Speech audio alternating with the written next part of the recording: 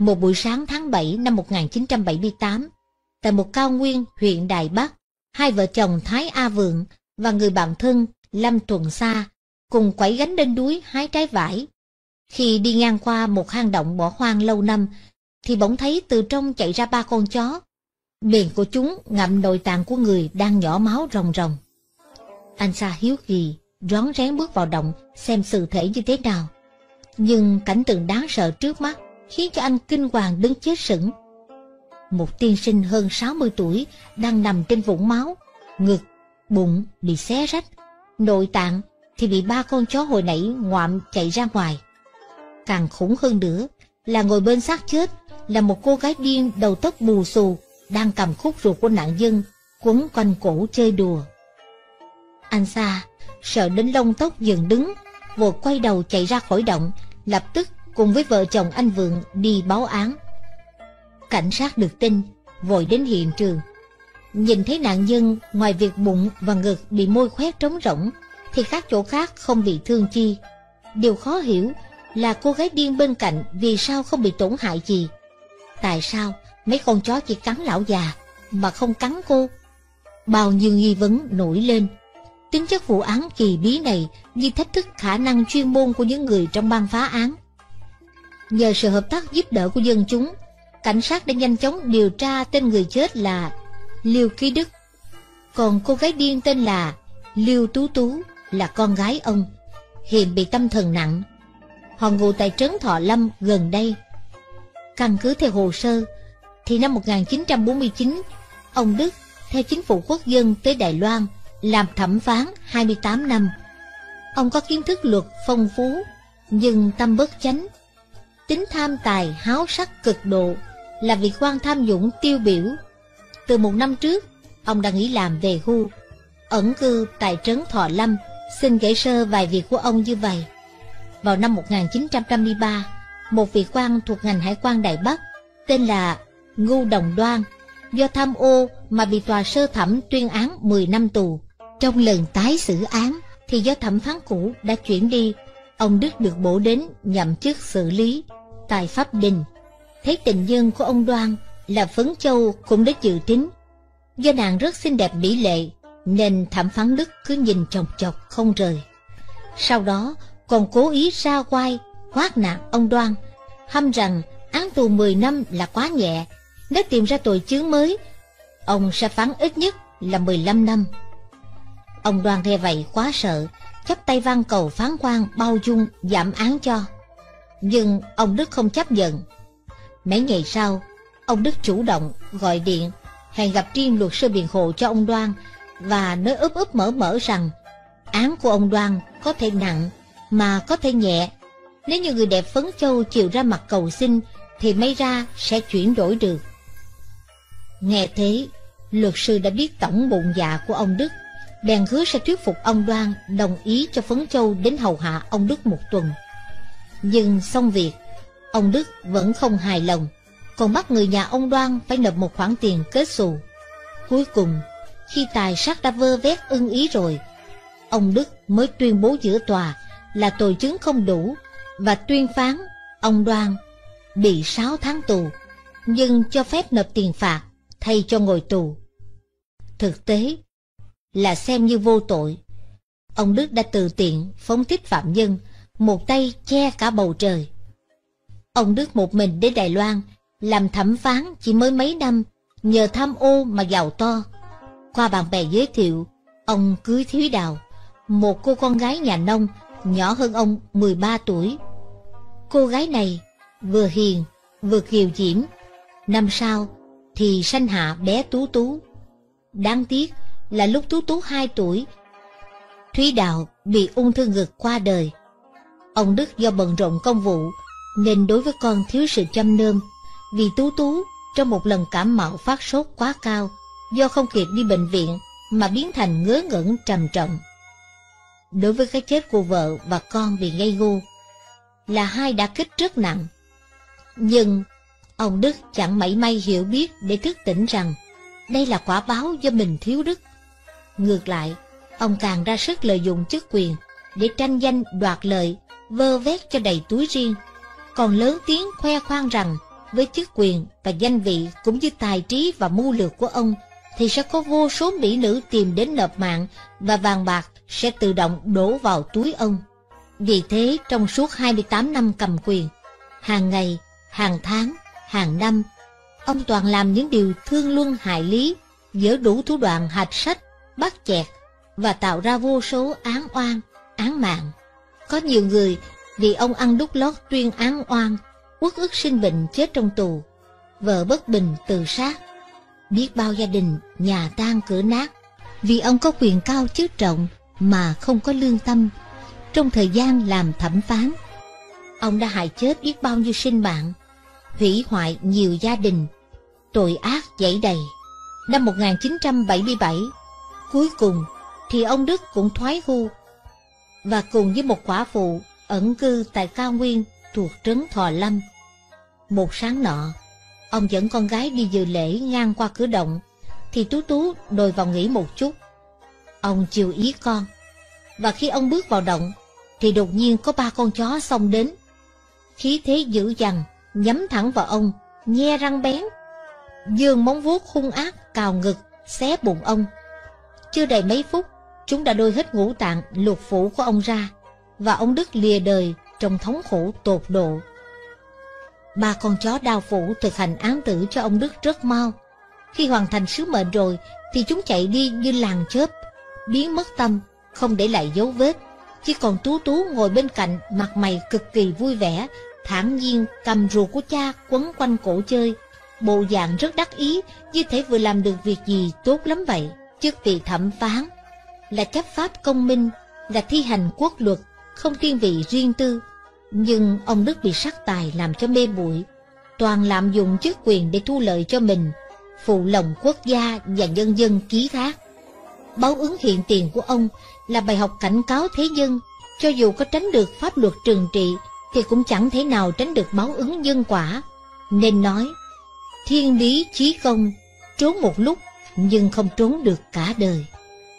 Những kẻ buôn người Năm 1981, sau khi Trung Quốc giải phóng, trăm nghề Hương tịnh, thôn Tả Hậu, tỉnh Liêu Ninh hẻo lánh, chuyên sống bằng nghề trồng bán dược liệu.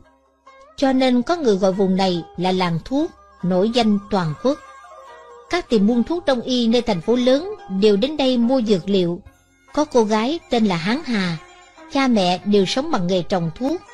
Hán Hà, tuy mới 17 tuổi, nhưng tính tình thẳng thắn, thấy các lái buôn đến buôn mua thuốc, thường hay lường gạt, ép giá, nên cô từ đứng ra kêu gọi dân làng đoàn kết vì quyền lợi chung.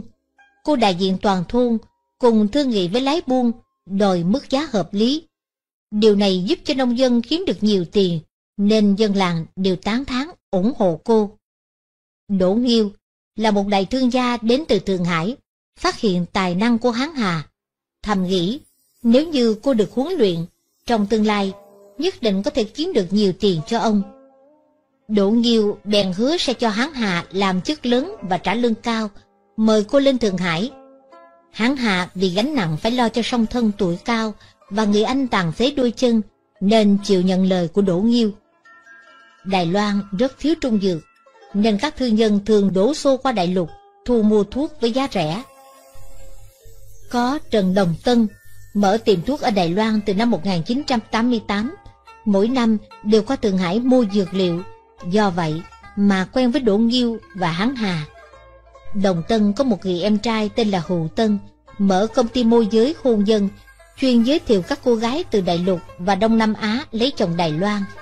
Hù Tân lợi dụng mối giao tế của anh Bình, thường dẫn các ông chưa vợ qua Đại Lục tìm đối tượng. Tháng 11 năm 1981, công ty Hù Tân lại có hai người khách, La Bang và Vương Đồng Nghĩa. Họ tuổi ngoài 30, trông có vẻ là kẻ tài ba bổ mực. Cả hai nói chuyện rất hào sản, thu hút. Họ ngỏ ý muốn tìm vợ ở Đại Lục và hứa sẽ trả phí cao. Hù Tân luôn miệng nói sẽ tận lực đáp ứng. Ba tháng sau, Hù Tân dẫn Bang và Nghĩa đến Thượng Hải, ngủ tại biệt thự của Đỗ Nghiêu. Tối hôm đó, Đỗ Nghiêu đãi tiệc cho ba vị khách. Hán Hà và nữ nhân viên phục vụ Vương Hiểu Hoang cũng có mặt ở đó. Trong buổi tiệc, La Bang nói, mình là tổng giám đốc công ty điện tử, có ba công ty chi nhánh và hơn 200 nhân viên. Do hàng ngày bận rộn làm việc nên bị vợ ruồng bỏ. Bây giờ, y đang cần tìm một hiền thê thông minh, dịu dàng, có thể giúp cho y phát triển sự nghiệp. Tiếp đó, thì dễ giới thiệu mình là chủ công ty kiến trúc, hàng ngày bận rộn đi khắp ba vùng Bắc Trung Nam Đài Loan để xử lý công trình, vì không có thời gian bầu bạn với bà xã nên bị ly hôn. Hiện muốn tìm một phụ nữ hiền lành, biết cảm thông, làm vợ. Bàn và Nghĩa giới thiệu rơm rã về Bình, cộng thêm Hồ Hân góp lời ca ngợi, khiến Đỗ Nhiêu nghe qua không ngớt gật đầu tán thưởng. Hắn Hà là thiếu nữ chưa chồng, nghe họ nói liền dệt mộng. Hai vị đại gia có sự nghiệp lớn, tài mạo song toàn này mới đúng là đối tượng hoàn hảo mà nàng hằng mơ ước. Hắn Hà thầm dĩ, gia cảnh bình nghèo, không học vấn. Nếu như một trong hai người này không chê bỏ, thì nàng ưng ngay, nàng sẽ đổi đời, vừa cải thiện sinh hoạt túng bấn của gia đình, mà bản thân cũng thành là phu nhân tổng giám đốc, được bao người kính mộ. Đôi mắt là cửa sổ tâm hồn. Trong ánh nhìn hán hà, đầy vẻ khát khao về ước muốn đổi đời, hai gã ban và nghĩa nhìn thấu hết. Khù Tân còn phụ nói vào thêm cộng thêm sự tán thưởng của Đỗ Diêu thì kết quả dễ dàng đạt thành. Vị trí đã định xong, Hán Hà sẽ gả cho Vương Nghĩa, còn La Bang thì cưới Hiểu Hoang. Trong lúc hai cô gái dệt đầy mộng đẹp về cuộc sống lứa đôi, thì Bang và Nghĩa lòng khắp khởi mừng thầm, vì họ vượt quăng lưới đã bắt ngay được mẻ cá. Nhờ Hồ Tân nhiệt tình giúp đỡ, hai tân đương được đưa về Đài Loan. Vừa xuống phi trường, thì Hán Hà và Hiểu Hoang lập tức bị tập đoàn lưu manh người rắn chở đến khách sạn đào viên giam lỏng và bị tịch thu hết hộ chiếu. Lúc này, Hán Hà và Hiểu Hoang mới tỉnh mộng, biết là mình đã rơi vào tổ quỷ. Hôm sau, Ban và Nghĩa cùng thủ lĩnh người rắn là Thái Khôn Lâm đến uy hiếp Hán Hà, Hiểu Hoang. Họ nói, nếu như hai nàng không chịu tiếp khách mà đi báo cảnh sát, thì không những tính mạng bị nguy, mà người thân bên đại lục cũng sẽ bị hại. Để chứng minh họ không nói dối, tên Lâm đầu đảng còn chìa ra hình cha mẹ hai người và mô tả cảnh nhà hai cô rõ mồn một. Hán Hà tự biết khó thoát tay quỷ, đành nén chịu, chờ thời cơ thoát thân. Còn Hiểu Hoang thì khó mà tiếp nhận được sự thật tàn khốc này, nên la hét khóc than, làm ầm đáo đến chết đi sống lại. Tên Lâm thâm độc, bèn nhốt Hiểu Hoang, cho thủ hạ cưỡng hiếp và đánh đập nàng. Hiểu hoang, thương tâm đều bị dày dò tàn khốc, đành khuất phục, tiếp khách, cho đến khi gặp cảnh sát truy quét tội phạm mới được trả về đại lục. Nhưng lúc đó, Hiểu hoang đã nhiễm bệnh, dẫn đến di chứng vô sinh, hiện còn đang trị liệu. Phần hán hà, tên Lâm không những bắt nàng liên tục tiếp khách, mà còn dụ nàng hút ma túy và đánh bạc. Chỉ trong vòng một năm ngắn ngủi, cô gái trẻ trung xinh đẹp hán hà đã biến thành da vàng, gầy ốm. Cuối cùng thì suy sụp hay ngớt. Qua kiểm tra, bị mắc bệnh ung bú. Một khi tinh lâm thấy hắn hà không còn giá trị lợi dụng nữa, thì hắn chẳng đeo phiền não vào làm gì. Bèn cho tập đoàn buôn lậu đưa hắn hà trả về cố hương của nàng. Đến đây, sống chết không rõ. Ngạn ngữ Tây Phương nói, Người trường kỳ làm ác, trong tâm nhất định không an. Ba tên Lâm, Ban và Nghĩa chuyên môn dụ dỗ gạt lường, ép các cô gái Đại Lục và Đông Nam Á đến Đài Loan bán dâm. Bọn hắn đã thu lợi rất nhiều, trải qua tháng ngày phú lạc, nhưng chúng vẫn luôn bị bất an, vì đêm đêm nằm ngủ, thường bị hình ảnh bi thảm của các thiếu nữ không ngừng xuất hiện ám chúng. Kẻ bị hại, đầu bù tóc rối, hình dạng như quỷ dữ, cưng giếng răng, quyền rủa chúng. Mới đầu thì lâu lâu mới thấy một vài lần, sau đó thì đêm nào cũng thấy. Vào tháng 7 năm 1995, ba tên côn đồ này suốt trong một tháng, đêm nào cũng mơ thấy ác mộng giống nhau. Chúng còn thấy một cô gái mắt bệnh cùi, mặt mày hung ác. Cười rất ghê rợn, tiếng cười càng lúc càng khiến cho ba gã sợ hãi kinh hoàng toàn thân xuất hạn mồ hôi. Hôm sau, thân thể của họ đều cảm thấy khó chịu giống nhau.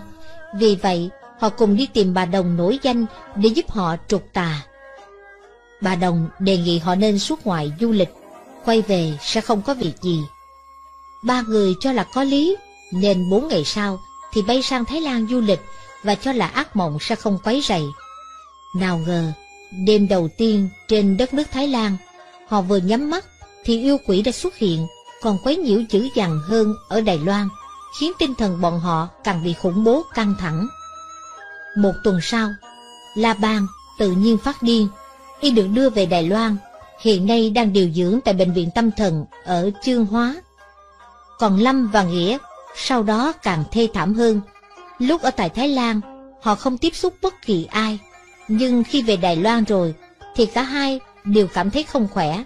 Thân họ càng ngày gầy ốm. Bệnh viện Đài Loan khám không tìm ra nguyên nhân. Họ phải bay sang Mỹ khám bệnh và phát hiện mình mắc bệnh S. Nửa năm sau, họ bị bệnh dày vò, thân thể lở loét, đau đớn tột cùng, rồi chết tại Mỹ. Người hành thiện tiết đức, tâm luôn sung mãn hỷ duyệt. Người làm ác, lương tâm gầy đêm sẽ bị trách phạt nghiêm trọng, sống không được an, thống khổ vạn phần hơn là chết. Nhìn xem gương những người mua lợi, gạt ép các cô gái bán dâm như thế này, kết cuộc đều sẽ giống như ba người, Lâm, Ban, Nghĩa. Khi sống, tâm luôn bất an, lúc chết, rất thống khổ. Quán ngon cao cấp Tại đại lộ Tung Sơn của thành phố Đài Bắc phồn hoa, có một tiệm vịt quay nổi danh khắp xa gần, tên là Quán Ngon Cao Cấp, làm ăn rất phát đạt. Khách ra vào tấp nập, cửa tiệm rộng lớn, thiết kế sang trọng. Nhân viên nam nữ phục vụ trong quán đều trẻ trung, mặc toàn Tây Âu trắng. Bếp trưởng, đội nón trắng tinh, tay luôn đeo găng, chứng tỏ mình cực kỳ vệ sinh sạch sẽ.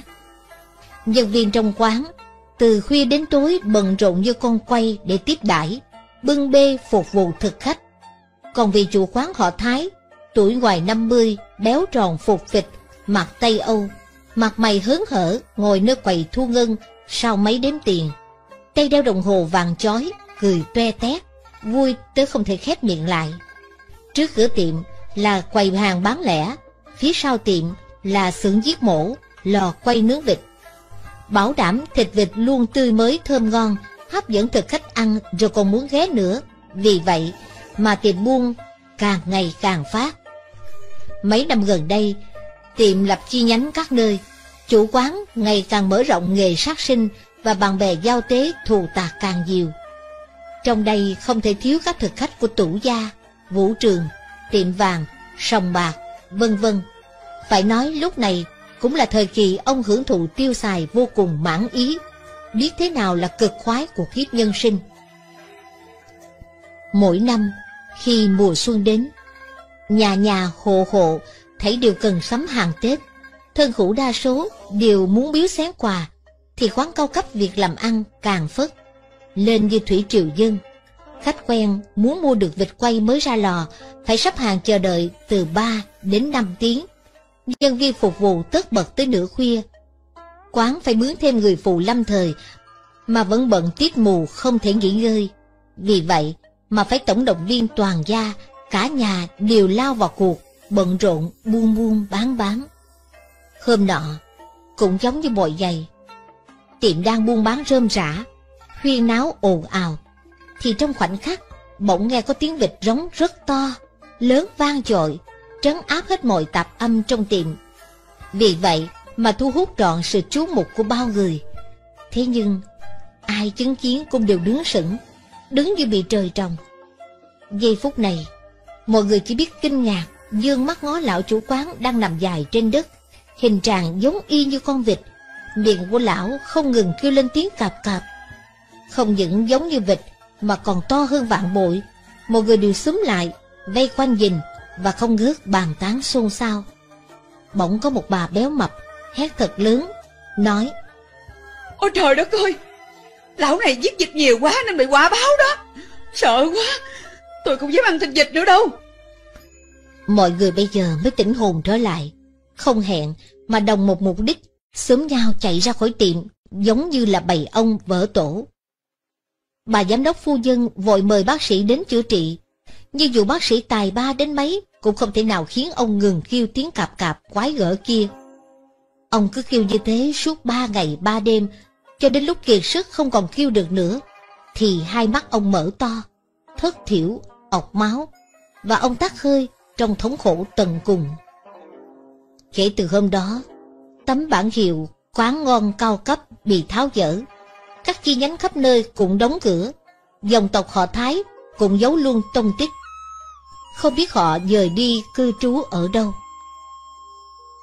Đi câu bị cảm động. Tại huyện Liêu Trung, tỉnh Liêu Đinh, Đông Bắc, Trung Quốc Một buổi sáng đầu thu năm 1997 Gió hay hay thổi. Dòng Liêu Hà yên tĩnh Nước trong biên biếc Bên bờ cây cỏ tốt tươi Cành lá đông đưa. Khi làn gió nhẹ thổi qua Cảnh vật ấm áp hiền hòa Dưới ánh nắng ban mai tỏa chiều. Đỗ tiên sinh tay cầm cần câu, Vai đeo vỏ. Săn sái đi đến cạnh bờ sông. Ông móc mồi vào lưới câu Và thả xuống nước. Sau đó nhìn chăm chăm vào mặt sông, Hồi hộp chờ đợi. Vẻ mặt vừa căng thẳng vừa thú vị. Hình như có con cá lớn đã mắc câu. Cứ nhìn lực bị kéo căng của dây câu và cần câu thì biết. Ông liền giật câu lên. Con vật dính câu đã hiện ra trên mặt nước Gương mặt đỗ tiên sinh từ vui sướng Bỗng chuyển qua kinh ngạc Khi thấy hoạt cảnh lạ lùng trước mắt Có thể nói là từ hồi đi câu tới giờ Ông chưa từng chứng kiến qua Con vật cắn câu Không phải là con cá lớn Mà là một ả rùa to. Trên bình rùa còn có mấy con rùa nhỏ, chúng bám chặt bình rùa lớn không buông. Do vậy mà đồng loạt bị kéo theo lên hết. Cần câu vừa hạ xuống đất, thái độ của mấy rùa nhỏ giống như vệ sĩ, chúng lập tức bao quanh rùa lớn. Đôi con mắt đen bé nhìn trừng trừng và đủ tiên sinh, vẻ rất căng thẳng. Xưa nay, ông vốn gan dạ và bình tĩnh, nhưng trước cảnh tượng lạ lùng này, ông chưa biết xử trí ra sao. Thật ra, ông cũng từng nghe nói về tánh linh động vật. Đối với những lời đồn, những điều nghe được này, thuở giờ, ông không quan tâm và chẳng hề tin, vì ông luôn cho rằng người ta thích khoa trương phóng đại bị đặt ra thôi. Nhưng giờ đây, đối diện với hình ảnh sống động, nhưng khó tin trước mắt, ông hoàn toàn bị chinh phục. Những con rùa bé nhỏ này khiến ông nhớ lại thời ấu thơ của mình, nhớ đến thâm tình cha mẹ, anh em, thắm thiết. Ông nghĩ các chú rùa nhỏ này cũng vậy, cũng biết yêu thương và rất muốn bảo vệ tình thâm. Chắc chúng cũng đeo mẹ, thương mẹ, giống hệt như ông hồi nhỏ vậy. Té ra, những động vật bị con người thẳng tay tàn sát kia cũng có linh tính, cũng có tình cảm và đời sống giống y như con người. Lương tri đỗ tiên sinh bị đánh thức. Cuối cùng, Ông quyết định làm một việc xưa nay chưa từng làm là phóng sinh. Ông lặng lẽ tháo con rùa to khỏi móc câu, thả nó xuống nước. Sau đó, lần lượt thả mấy chú rùa con xuống theo, lòng đầy ấy nấy, ăn năn. Ông nói với đám rùa, Xin lỗi nha, các ngươi về nhà bình an nha. Mấy chú rùa nhỏ, bơi theo sau mấy chú rùa lớn. Trong đó có một rùa con có quay đầu lại nhìn ông sau đó, Đỗ tiên sinh bẻ gãy cần câu. Kể từ ngày hôm ấy, ông không câu cá và dứt hẳn sát sinh. Hiện giờ, ông là một đệ tử trung thành của Phật giáo. Ông thường kể lại câu chuyện này và khuyên mọi người không nên sát hại sinh vật.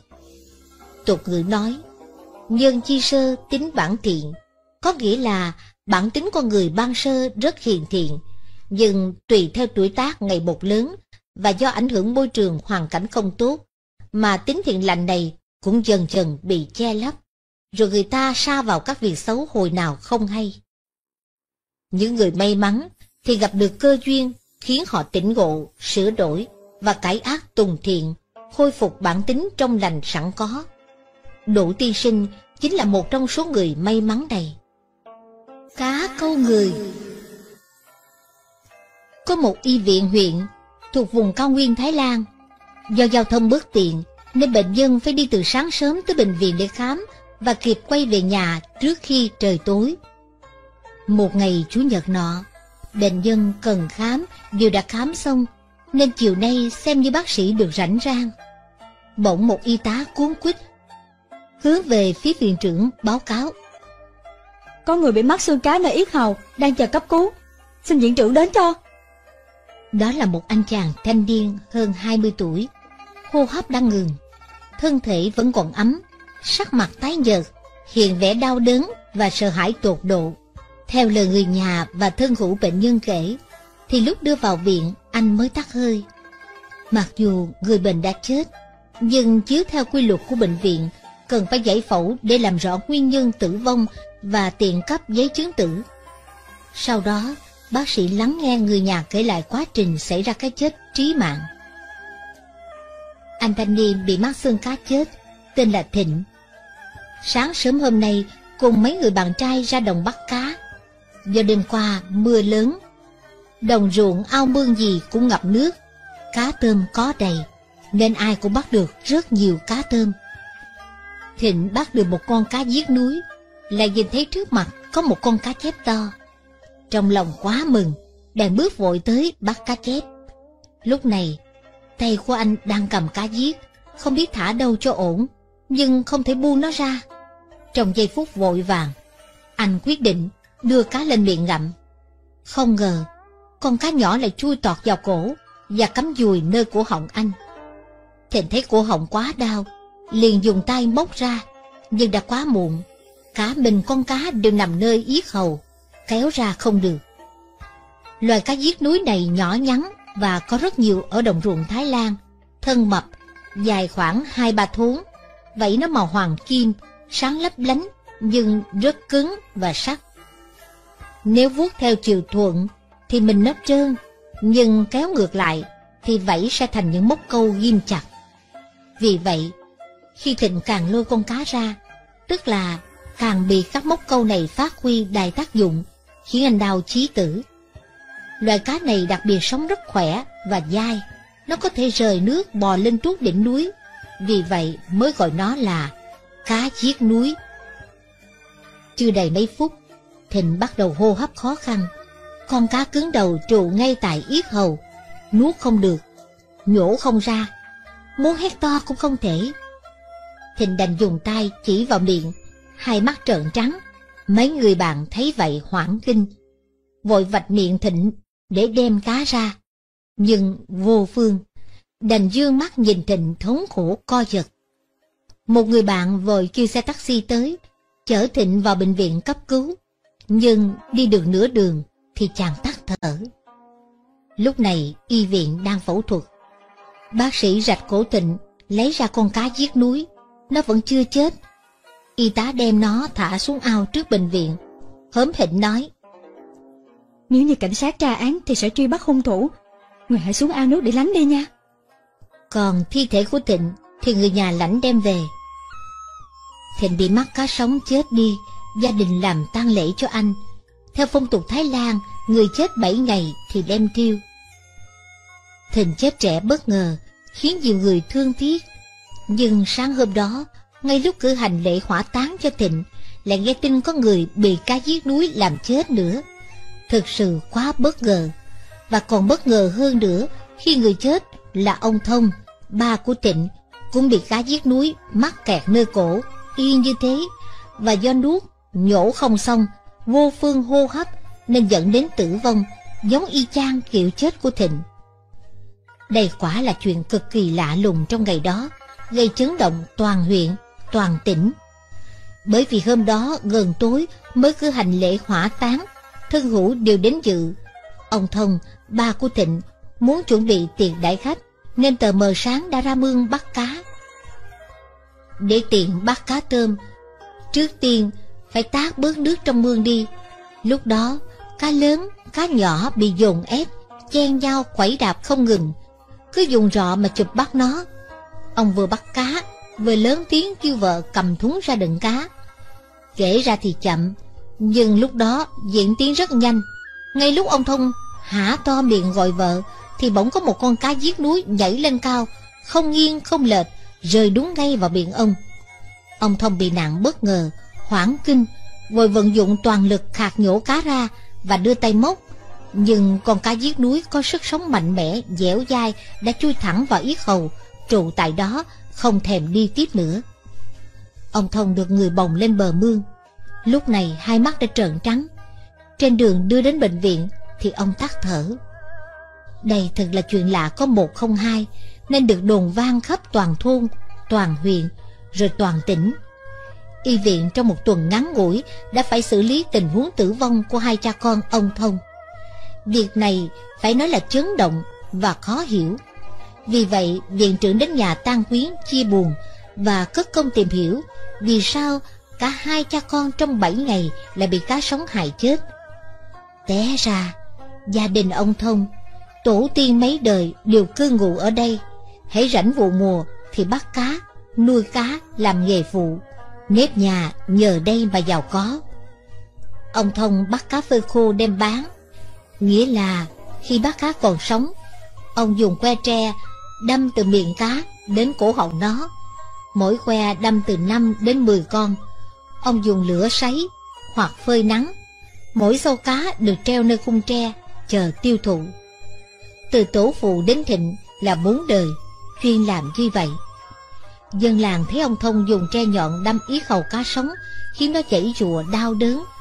Thủ đoạn tàn nhẫn, thảm đến chẳng nỡ nhìn. Ngàn vạn lần cũng không thể tưởng được là cha con họ lại bị cá sống hại chết giống y nhau theo kiểu này. Nếu ngay đây mà đối chiếu cảnh, người móc cá, cá móc người, thì đây chính là diễn tiến lạ lùng của báo ứng. Đúng như nhà Phật từng nói, nhân quả báo ứng không hề xử oan người. Có thể nói, nhân quả xoay chuyển rất công bằng. Xin mọi người cảnh giác, ngàn vạn lần chớ nên treo nhân ác. định của Văn Lai Tại một bệnh viện huyền nọ ở Thái Lan, bác sĩ viện trưởng kim thường vụ chuyên khoa, kim cầm dao mổ. Lần nọ, viện trưởng kể lại câu chuyện lạ lùng về một ca mổ, khiến người tỉnh giác phát tâm hướng thiện. Viện trưởng nói, Từ hồi tôi làm bác sĩ tới giờ, chưa từng gặp qua, cũng chưa từng trị qua loại bệnh kỳ lạ này. Người bị bệnh kỳ lạ đó trong vòng 3 năm, thì bị mổ hết 5 lần và mỗi lần nghiêm trọng hơn. Cuối cùng thì ngay cả tay chân đều phải bị cưa bỏ, biến thành người tàn tật, còn một tay, một chân. Vì bệnh lạ này tên là Văn Lai. Một lần nọ anh bị ba ba cắn vào tay làm bị thương ngón út. Mới đầu đến bệnh viện, chỉ rịch thuốc cầm báo, cho là không có việc gì. Nhưng nửa tháng sau, nơi đốt ngón tay bị thương bắt đầu viêm, sưng phù, đau đớn, Bác sĩ kiểm tra xong, chuẩn đoán là vi khuẩn độc ăn tới xương, cần cắt bỏ ngón út để tránh độc lây lan làm hại tính mạng. Thế là cắt đi, còn lại chín ngón tay. Chưa được nửa năm, Văn Lai ra biển chu ngoạn. Thật không may, là bị một con ba ba cắn bị thương ngón chân út. Mấy ngày sau, chân phát viêm, sưng đau, lại đến y viện chụp x-quang thì phát hiện độc lan tới xương, phải cắt bỏ ngón chân út để được an toàn. Thời gian chưa được một năm, ngón tay út và chân út đồng phát viêm, sưng đau. Văn Lai lại đến y viện xin khám chụp x-quang.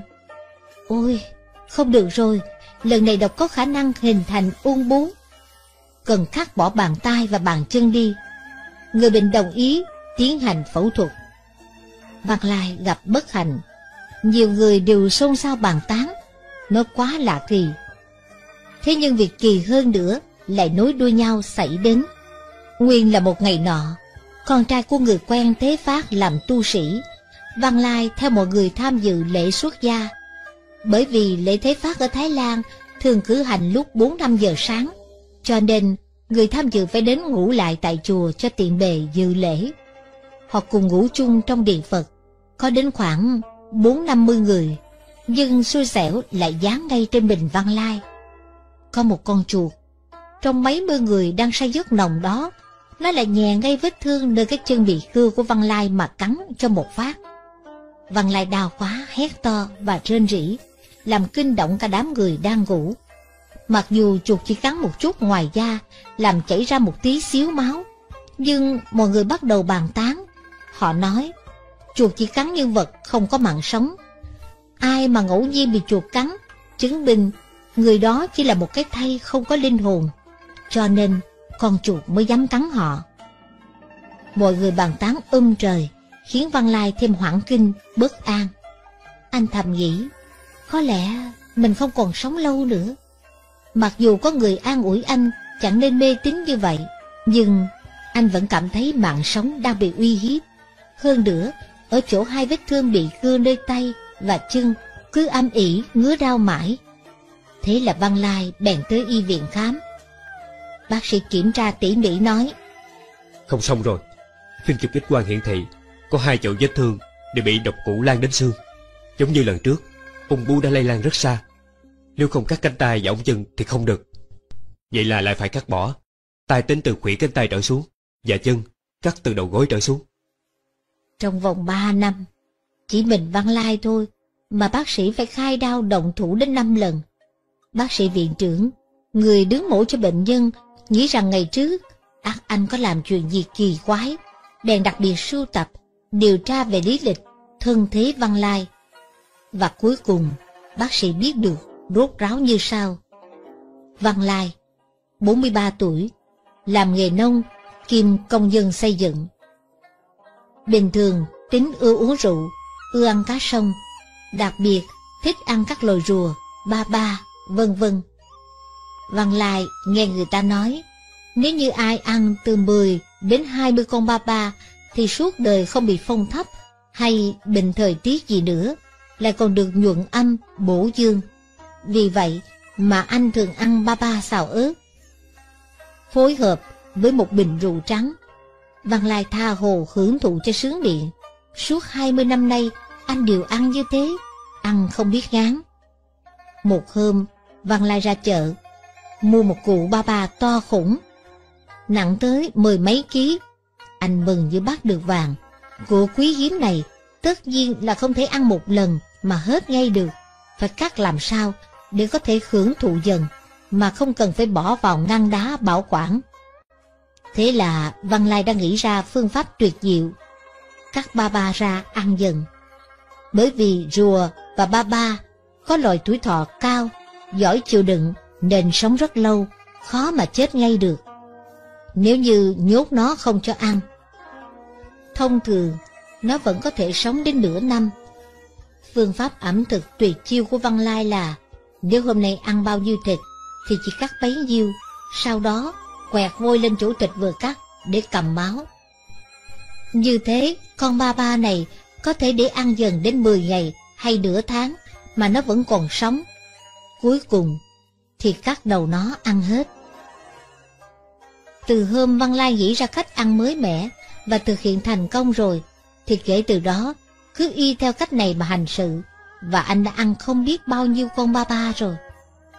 Có người tốt bụng nhắc nhở anh, thủ đoạn này quá máu lạnh và tàn nhẫn, quá vô lương tâm sẽ bị ác báo, nhưng anh bất kể, chỉ cần có thịt ba ba tươi ngon là đủ. Cho đến lúc thân thể của anh bị cắt, cưa ra từng kỳ, nếm trải mùi vị đó, anh mới biết đây là báo ứng hiện đời đang giáng xuống thân mình. Nhưng có hối cũng muộn màng. Bác sĩ viện trưởng gom tư liệu sưu tập được, xem tỉ mỉ, rồi viết ra câu kết luận. Y học vô phương giải thích những câu chuyện báo ứng nhân quả có thật như vậy. Tiểu thư khỉ Tại một thôn làng đọ thuộc miền Nam Thái Lan, có một chàng thanh niên họ Lưu cử hành hôn lễ. Tân đường là một cô gái có biệt danh Tiểu Thư Khỉ.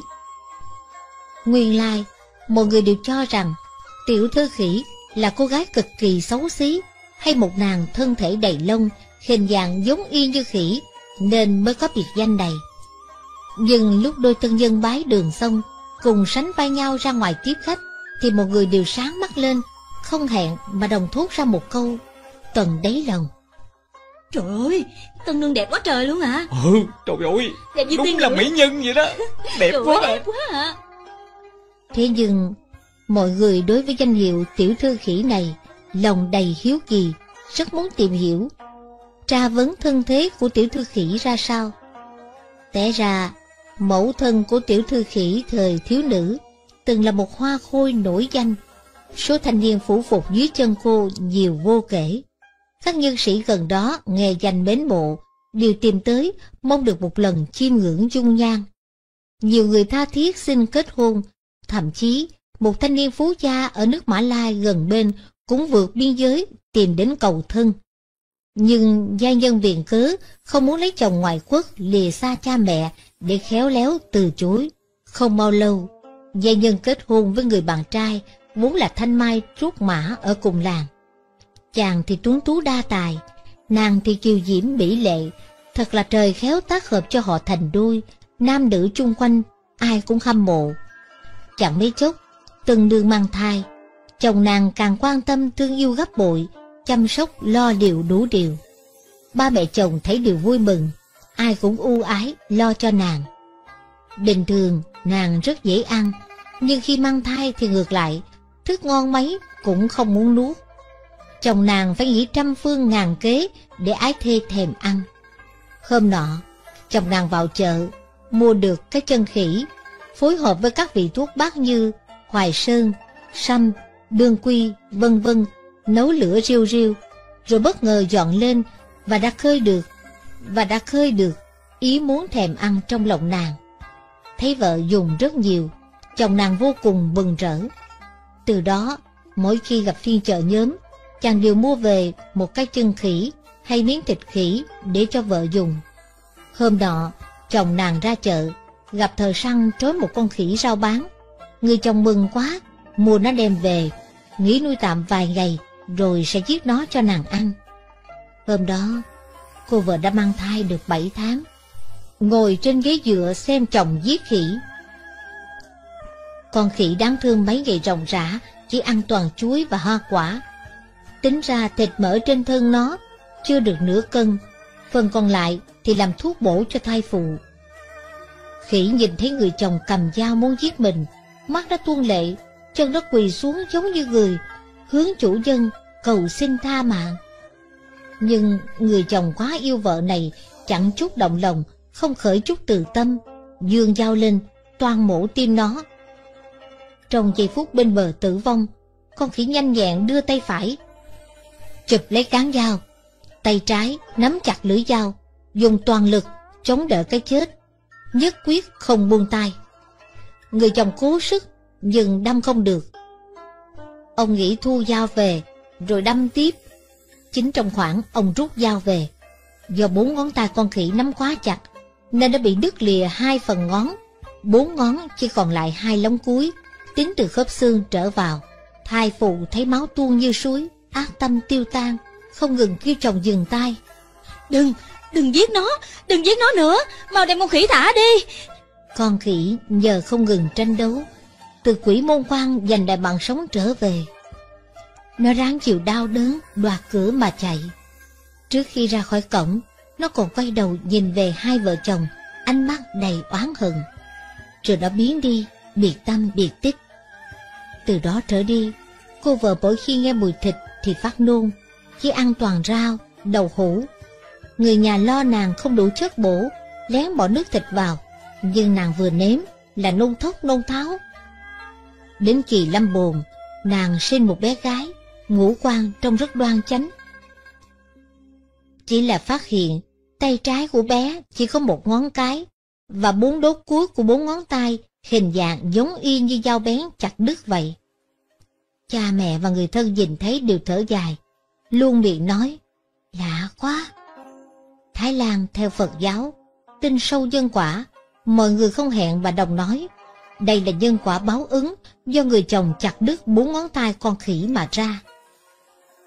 Hôm nay, tân nương tiểu thư khỉ mặc áo cưới trắng, tay mang găng trắng, dịu dàng xinh đẹp, cứ như tiên nữ hạ phàm. Thế nhưng đâu ai biết trong găng tay đó không còn bốn ngón tay nhỏ dài thon mà chỉ còn bốn đốt còn thừa lại như từng bị cắt. Đó là nguyên nhân của biệt danh Tiểu Thư Khỉ. Nó đã thành một câu chuyện đồn vang đương thời. Trầm công, giảm điệu Hiện tại trong giới kiến trúc có ba câu danh ngôn. Chỉ trộm công, không giảm liệu, chờ sập. Chỉ giảm liệu, không trộm công, sẽ sập. Đã trộm công lại giảm liệu chắc chắn sập. Nếu giản lược là trộm công giảm liệu thì sớm muộn gì cũng sập. Vào năm 1971, thành phố Đài Nam của Đài Loan có một nhà kinh doanh kiến trúc nổi danh tên là Trương Sĩ Lương. Ông không học qua sách vở, nhưng phòng ốc dựng xây hết sức kiên cố, tuyệt không có chuyện trộm công giảm liệu. Ông luôn bảo đảm uy tín, danh dự, cho nên bất kể là kiến trúc dân gian hay thuộc chính phủ, ai cũng muốn mời ông thầu xây. Trương Sĩ Lương có hai con trai, đứa đầu tên Trương Kim Sùng là kỹ sư thiết kế kiến trúc, còn đứa út tên Trương Tất Khoan kế thừa sự nghiệp phụ thân. Lúc đó chính phủ muốn xây ở thôn quê một chung cư. Công trình tổn phí rất lớn. Các cổ đông trong hai thế lực hát bạch tranh nhau giành thầu xây công trình.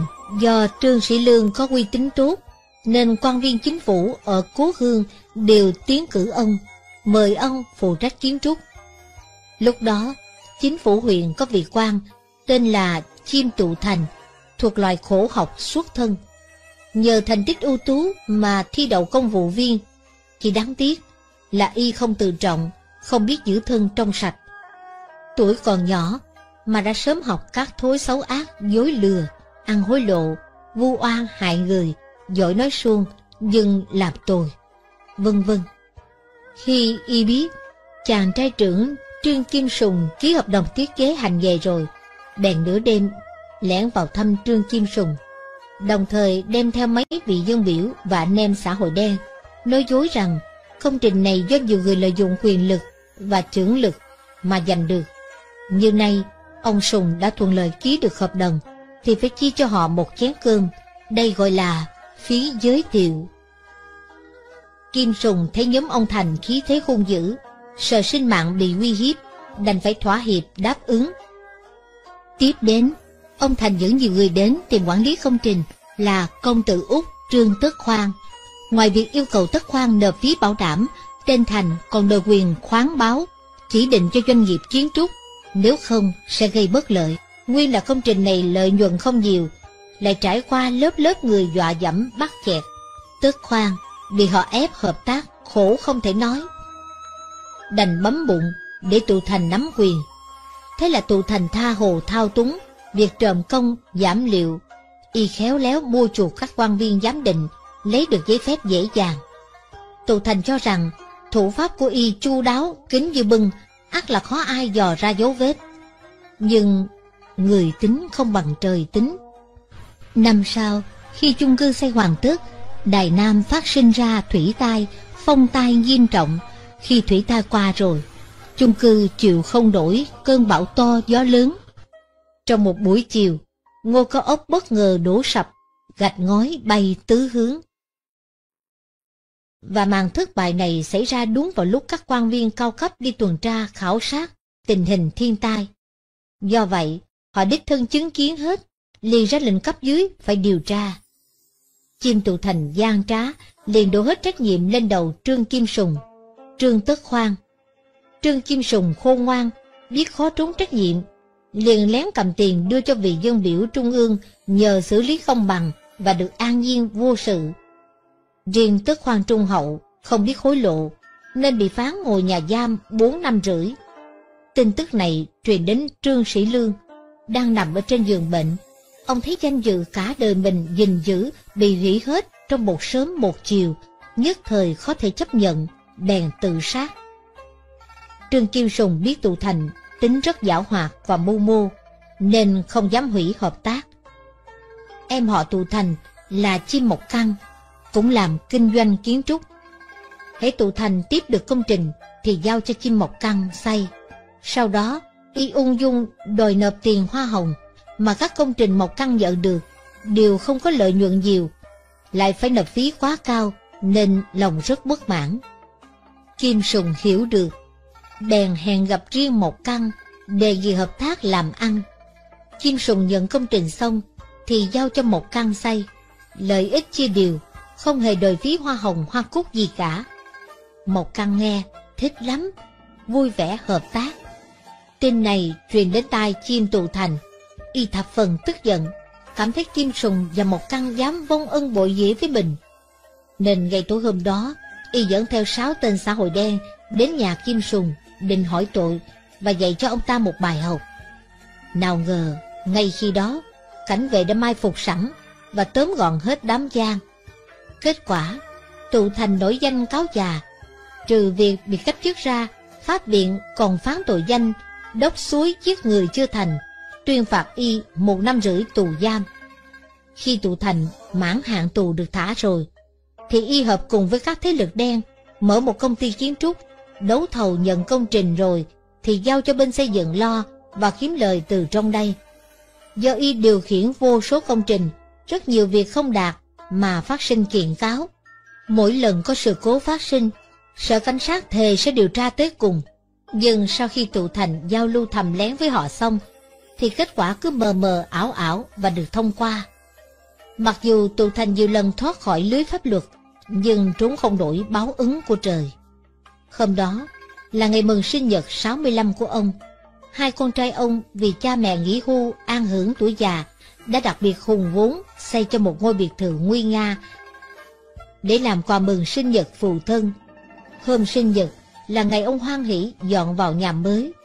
Nhưng không ai ngờ, ngày tối đó, hạ tầng ngôi biệt thự tráng lệ bỗng phát sinh sụt lún rồi sụp đổ khiến cho vợ chồng ông Thành, con trai trưởng và các phe phái từng hợp tác thầu xây dựng công trình gian vô phương đào thoát, đồng bị chôn sống và chết dưới đống gạch vụn.